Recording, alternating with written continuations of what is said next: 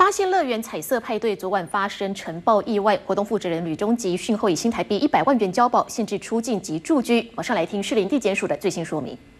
本署昨晚得知新北市八仙乐园发生意外，即刻指派三名检察官前往勘验现场并保全证据，并于今日下午讯问五名被告后，因该活动受害人数众多，本署对该活动之主办人女性被告预支交保一百万元。转包业者邱姓被告及廖姓被告分别预支交保三十万元，并对该三人限制出境。